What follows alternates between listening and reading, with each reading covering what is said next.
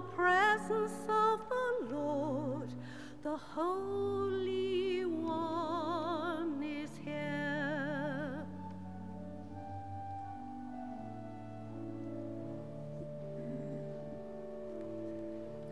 Be still, for the glory of the Lord is shining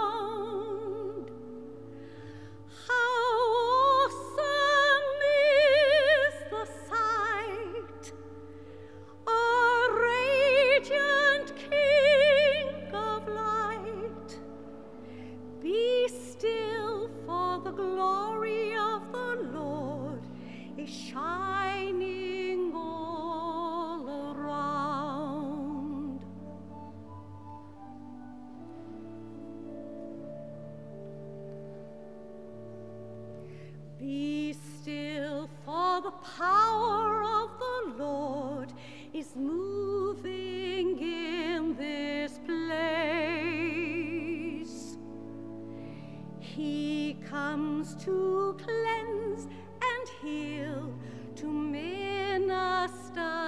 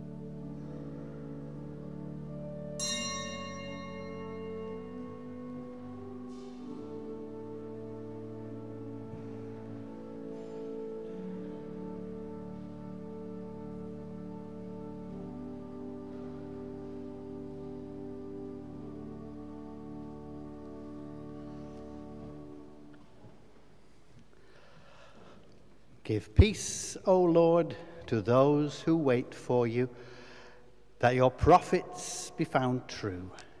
Hear the prayers of your people and the whole of your church.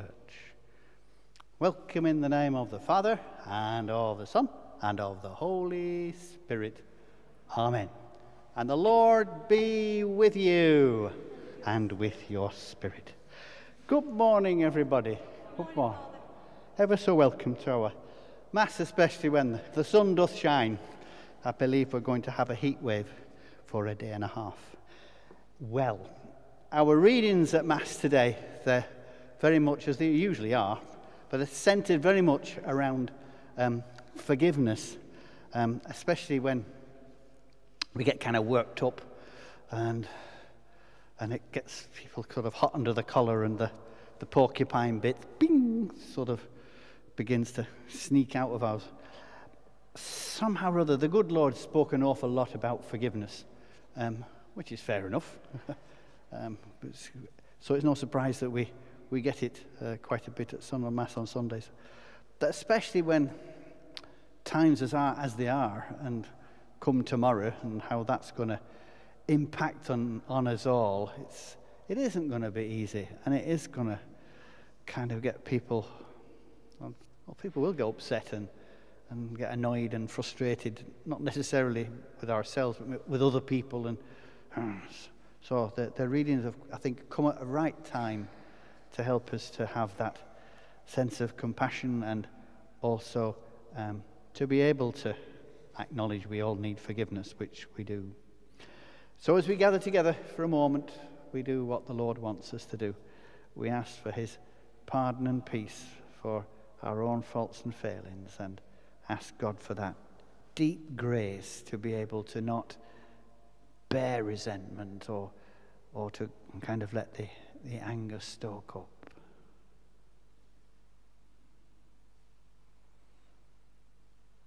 Lord, we are here and you forgive all our guilt.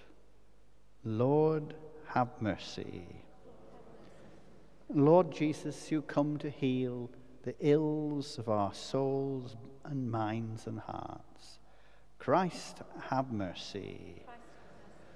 And Lord, you are compassionate, full of pity for your people. Lord, have mercy. And may Almighty God have mercy on us and pardon and forgive us all our sins and bring us to everlasting life. Amen. And let us pray. Look upon us, O God, creator and ruler of all things, and that we may feel the working of your mercy. Grant that we may serve you with all our minds, heart, and soul. And we ask this through Christ our Lord. Amen.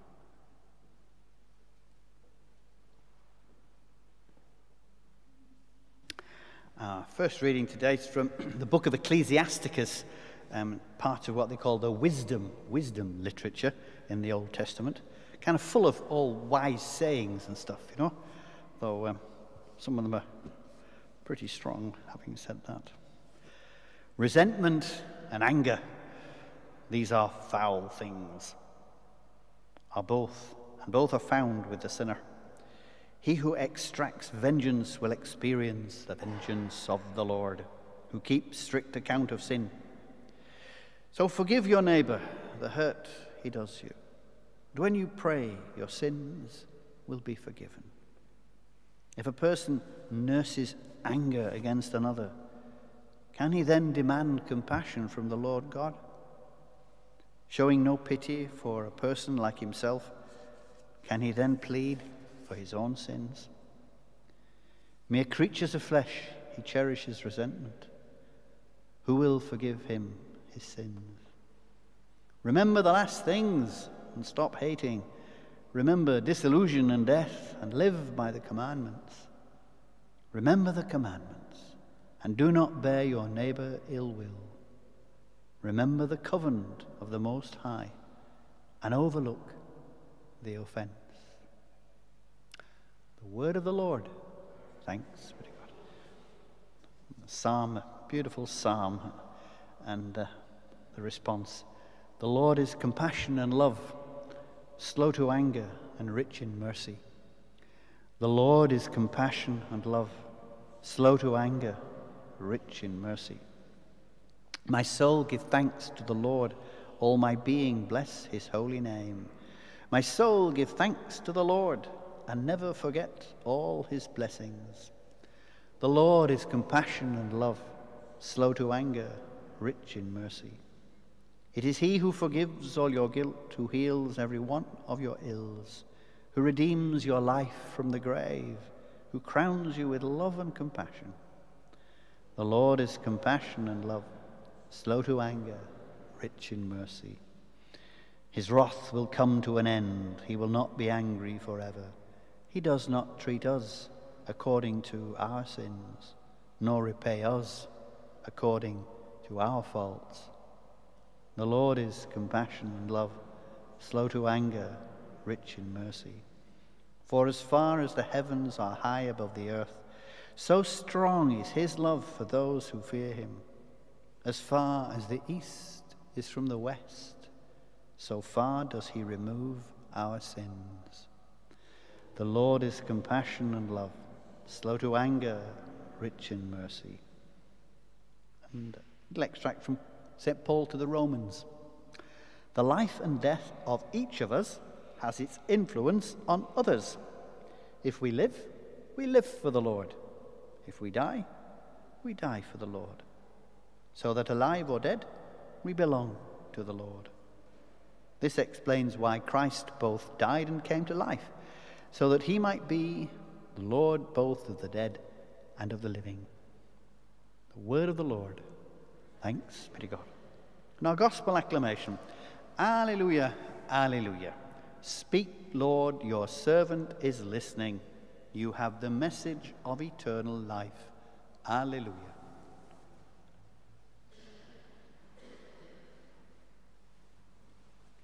And the Lord be with you. A reading from the Holy Gospel according to Matthew. Glory to you, O Lord. Peter went up to Jesus and said, Lord, how often must I forgive my brother if he wrongs me? As often as seven times?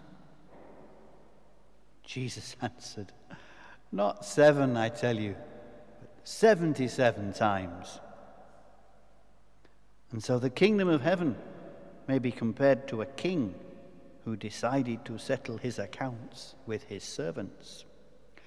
When the day of reckoning began, they brought him a man who owed 10,000 talents, but he had no means of paying.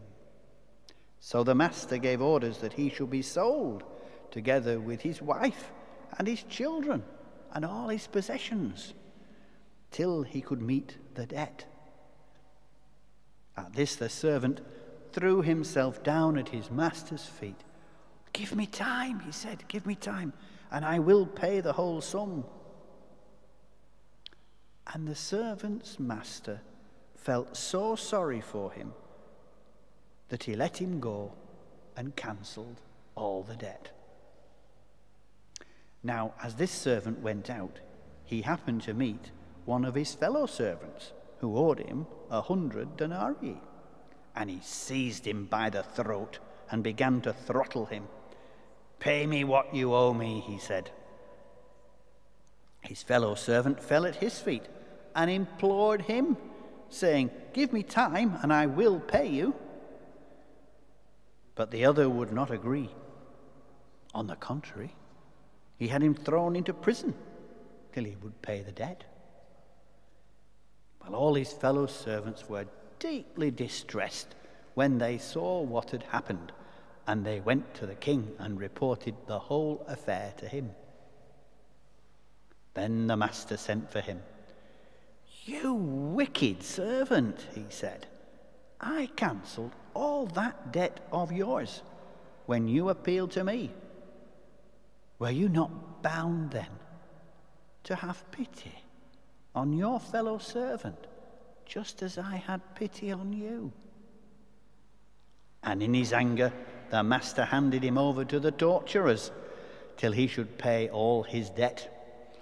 And that is how my heavenly Father will deal with you unless you each forgive your brother and sister from your heart. The Gospel of the Lord. Praise to you, Lord Jesus Christ.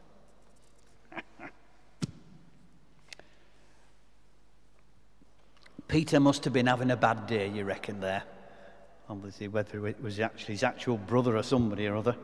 And he must have tread on his corn yet again and again and again. And he thought, seven times. That's the, that's the magic number in Israel. You know, it's like seven days of creation. Kind of means like, whatever, huge number. And Jesus says, oh, no, no, no. How about 77 times? She's like, there isn't such a number.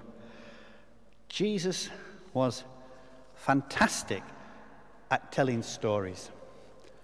And that's and he used he often used what you just call exaggeration to make a point. I reckon he frequently um, had the people he talked to kind of big smiles for sure and rocking in the aisles as well, you know. Um, and he'd say things like, it's easier for a camel to get through the eye of a needle than a rich man to get to heaven. You think, well, well how's... Camel's just a great big thick um, rope, by the way, not a thing we umps on. but like, they must have thought, no, I can't do that. And then I said, you know, I speak in the gospel on the day, it was saying, you know, it's, it's dead easy to pick faults in other people, you know. He said, well, we all have faults, you know. I'll take that splinter out of your eye. And he says, how about taking the plank out of your own eye? You kind of imagine the sort of plank. But this story today was probably one of his best for exaggerations. Um, I know of, I have a very good friend who's also a priest. And um, he's a bit older than me and he's Irish. And he's helped a lot here. Now, I'm not giving you any clues to who that is. Um, but when Joe usually tells a story, um, he tends to exaggerate a little bit. And if it's anything to do with numbers, when, bless him, I usually half it, and then I half it again and half it again. And I reckon I'll get somewhere near what's actually the story's all about. But Jesus was cracking with this one today. Um, a talent, um, sort of like a gold bar, really, in, in his day they reckon a talent today will be worth about £200,000, all right? Now, somebody won who's a millionaire, didn't they, last week? And he didn't have a calculator to do questions, so I just wonder whether this one might beat him. So he owed 10,000 talents. So that would be £200,000 times 10,000. Now, you work that out in your head. It's a lot, isn't it? It's crackers, you know. The people must have thought, this is madness, you know. And then, he, and he cancels the whole of the debt. You think, come on. But he did. And then the parallel was, then he tried to squeeze his, hit at somebody else out of 100 denarii, which would be about a month's pay. Okay, I think that would be the equivalent. Oh, a chunk of money, but nothing like 10,000 times 200,000. And somehow or other, the good Lord was saying, you know, this is, this is about the sort of the forgiveness that God deals with us. I suppose if we're to try and, not that you could do the maths, but all our faults and failings and things we didn't do and should have done and whatever in a day, okay. Not that we're ever likely to add them all up.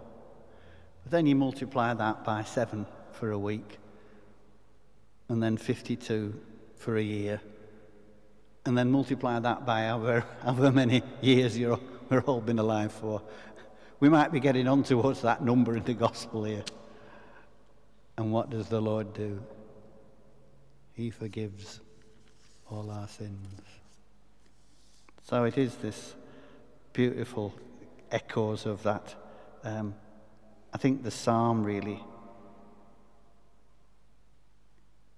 God does not treat us according to our sins, nor repay us according to our faults.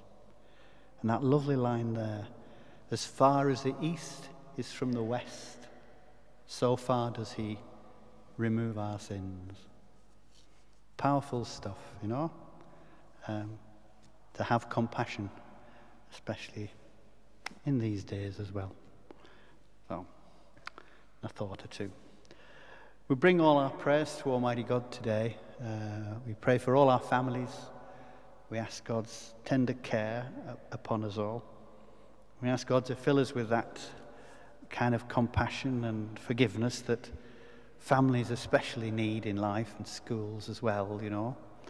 Um, so we ask for that in sort of, especially from tomorrow onwards when it is clearly going to get a lot harder. So we ask God for his strength and encouragement to be able to put what we've heard into practice in the, the week and the months and years to come. And we'll ask the good lady to strengthen all our prayers with joining her today. Hail Mary, full of grace, the Lord is with thee. Blessed art thou among women, and blessed is the fruit of thy womb, Jesus. Holy Mary, Mother of God, pray for us sinners now and at the hour of our death. Amen. We'll offer all our prayers along with the bread and wine to Almighty God. Um, and we've got Alan and, on the organ and Sandra way back in the far back of the, the choir loft up there, and uh, to be able to have a little real music uh, in our church for once now. Lovely.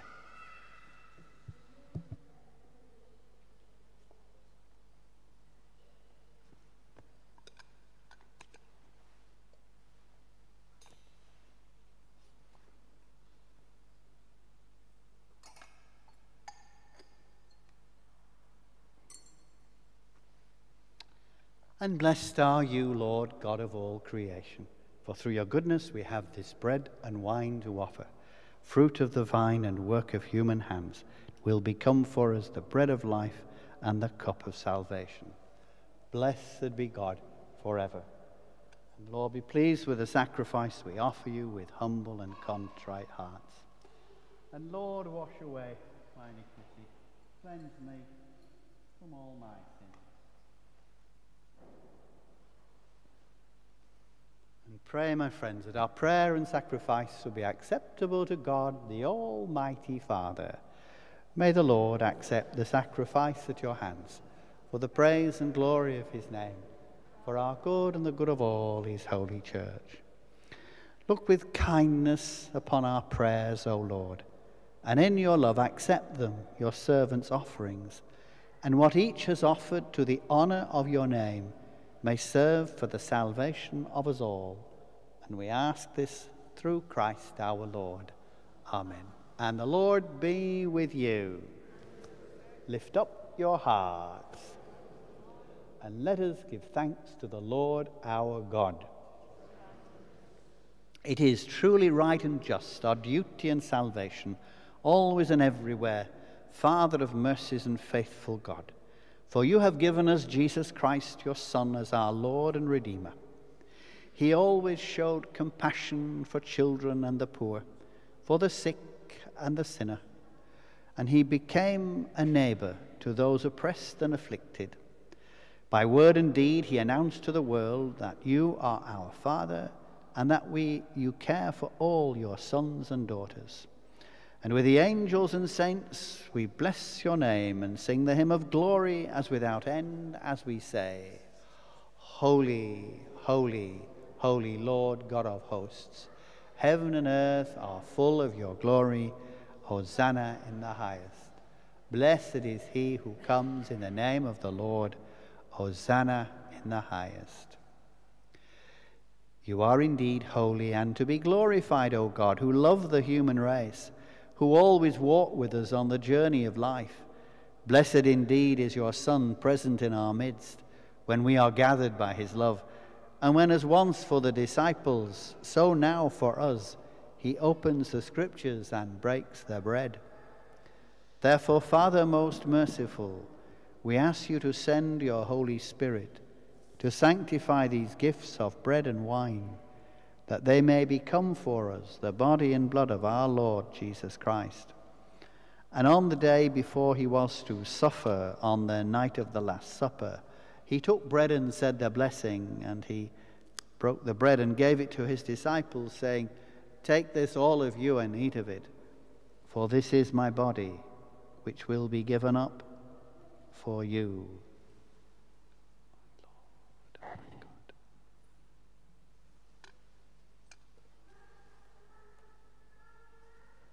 And in a similar way, when supper was ended, he took the chalice and gave you thanks, and gave the chalice to his disciples, and said, Take this, all of you, and drink from it, for this is the chalice of my blood, the blood of the new and eternal covenant, which will be poured out for you and for many for the forgiveness of sins. Do this in memory of me.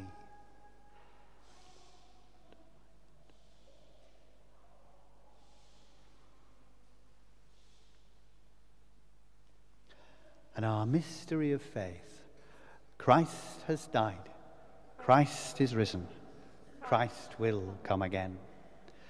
And therefore, Holy Father, as we celebrate the memorial of Christ, your Son, our Saviour, whom you led through his passion and death on the cross to the glory of the resurrection, and whom you have seated at your right hand, we proclaim the work of your love until he comes again.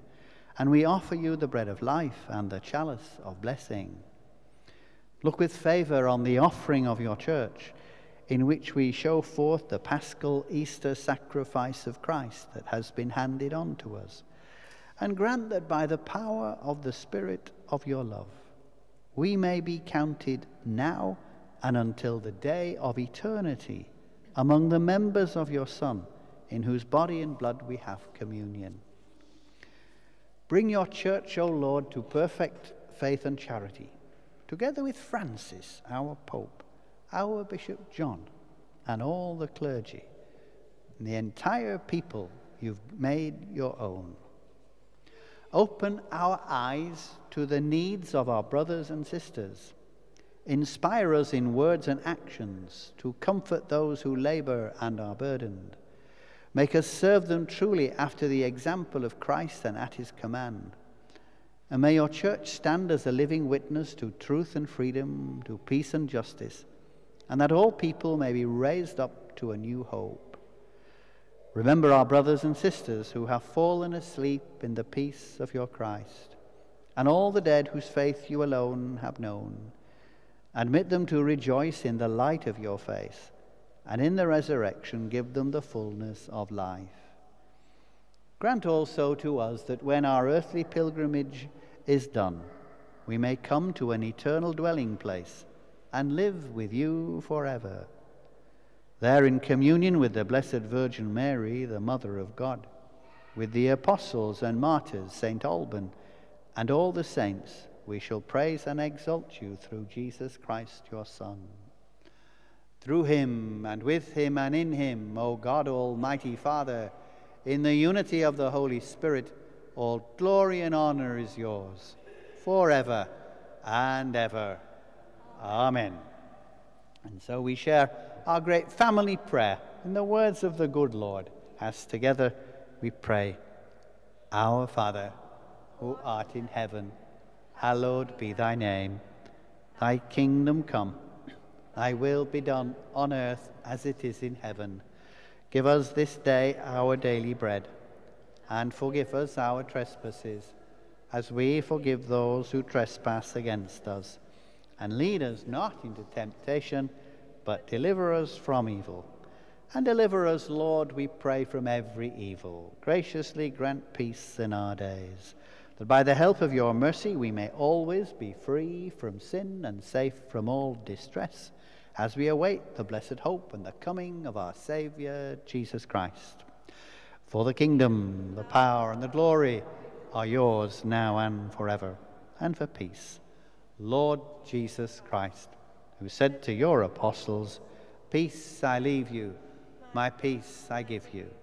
Look not on our sins, but on the faith of your church, and graciously grant her peace and unity in accordance with your will who live and reign forever and ever.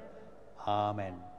And may the peace of the good Lord be always with you and with your spirit. And as best we can, we, we offer God's peace, or a little sign. Peace, everyone. Peace and God bless. Peace and God bless. And Lamb of God, you take away the sins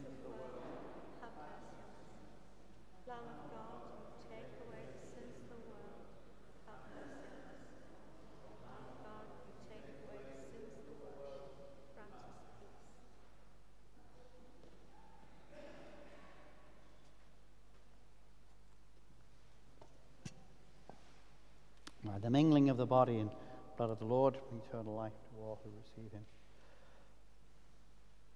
And behold, Jesus, the Lord, the Lamb of God, who takes away the sins of the world, and blessed are we called to the supper of the Lamb. Lord, I am not worthy that you should enter under my roof, but only say the word, and my soul shall be healed. The body of Christ, Amen. The blood of Christ, Amen. Amen.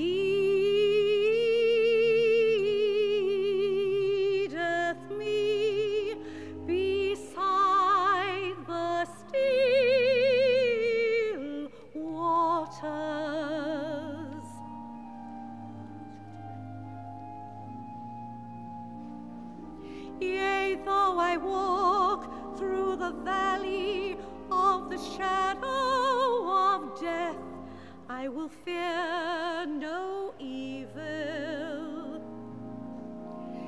Yea, though I walk through the valley of the shadow of death, I will fear no evil.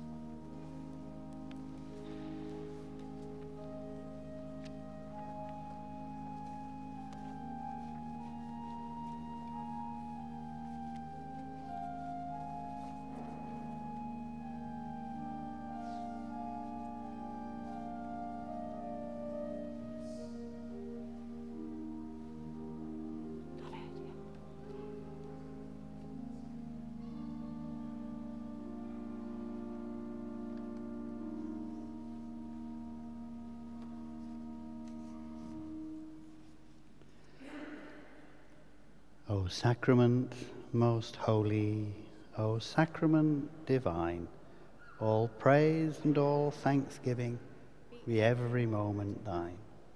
O sacrament most holy, O sacrament divine, all praise and all thanksgiving be every moment thine. O sacrament most holy, O sacrament divine, all praise and all thanksgiving be every moment thine. And our prayer of spiritual communion for all the good folk who are kind of watching in um, on the telly live today. So, my dear Jesus, I believe that you are present in the most holy sacrament today. And I love you above all things. I desire to receive you into my heart and soul now. Since I cannot at this moment receive you sacramentally, come at least spiritually into my heart and soul. I embrace you as if you were already there and unite myself wholly to you. Never permit me to be separated from you. Amen.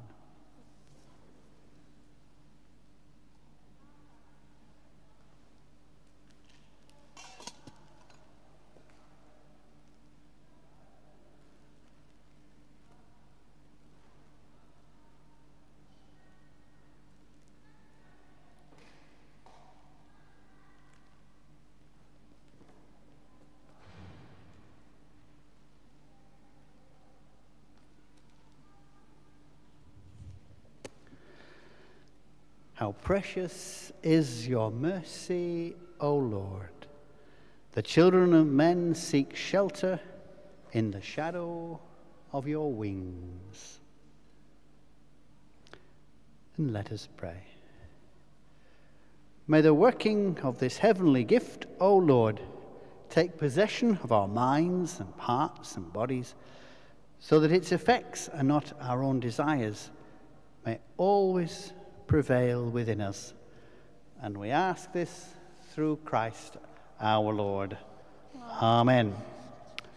Again, bless you all for being with us today, um, whether physically or sort of whatever it is when people are watching on the telly. Um, you're all so welcome here today. Bless you. Uh, just from the, the newsletter, um, we've looked at all the instructions from that we've got from Boris for tomorrow onwards.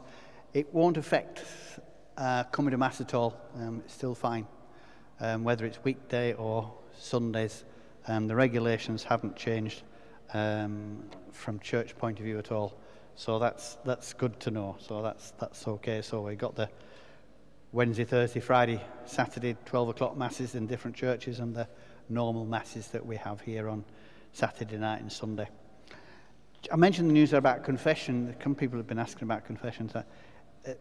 The problem the bishops have said with the confessional box is that somebody went in and we'd have to sort of sanitize the whole place afterwards. So they said just give up on that. And if people want confession, then um, give us a shout or somehow or other. Sort of before Mass or after Mass, we'll sort of find a corner in church and, and we'll sort you out. So it's about the um, best I can offer in a way at the moment. So the St. Vincent de Paul still ma- managing to meet with um, telephones and Zooms and still doing lots of good work. They do have a, an annual appeal in September. So if um, you can spare something to put in an envelope to St. Vincent de Paul and their good work, um, then that will be very gratefully received.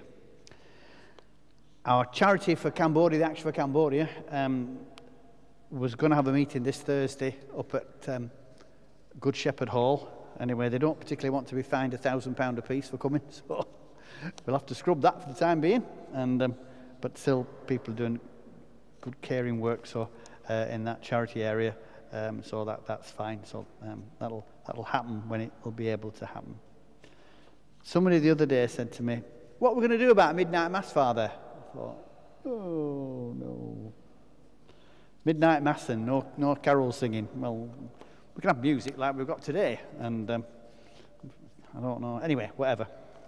But my thought was, at the moment, is that, like the masses at uh, Christmas, it's, I somehow or other want to try and ensure that, like your good folk yourselves who come, kind of definitely get a seat, you know, and sometimes you, other members of your families come along. I'm aware of that as well. So I just want to kind of ensure that um, you kind of get you kind of get get a place somewhere to sit. So we're going to see um, Pete somehow or other. We're going to get a plan of the church, and when that kind of work out what masses we'll actually have on Christmas Eve and Christmas Day, um, we'll kind of let you know first, and then we can organise that family bubbles can sit together, and it will actually be able to allow more people to sit in church than just because you're not in ones or twos. You know, we can you can sort of be in, at least in sixes, I hope. Anyway, so that's the plan. All right. So it's a bit like watch this space. Don't tell anybody. You know, we'll just sort of keep it to ourselves, so that um, when it comes to Christmas, um, you will definitely, whichever mass you decide to come to, you'll actually have a seat, and it will be your seat on any on a particular bench. Okay, so that's the plan. All the plans of mice and men. Well, I hope you have a lovely few days and that you bask in the sunshine the next few days and don't work too hard. The Lord be with you. And may the good Lord bless you all and your families and keep you in God's love and care in this coming week. In the Father, and of the Son, and of the Holy Spirit. Amen. And our Mass is ended. Let us go and stay in the love of the Lord. Thanks be to God.